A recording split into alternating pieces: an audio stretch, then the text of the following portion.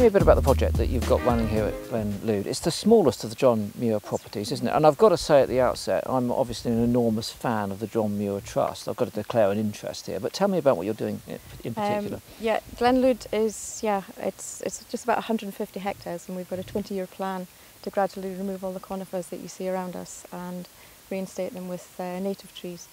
Um, we're doing it gradually we're just doing, using sort of uh, low impact silviculture systems, um, sort of felling small amounts of spruce. Then we take out the main chunk of the timber, which we turn into firewood, which creates money, which we sell that goes back into the project.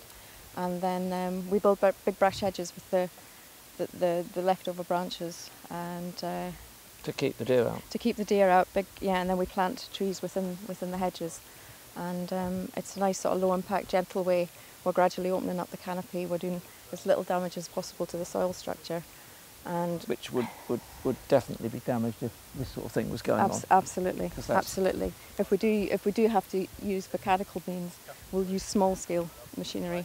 Um, we're looking into possibly doing some horse logging as well. Wow. Um, and just yeah. trying to work with nature. Yeah. I mean, we're learning all the time as, as the project progresses.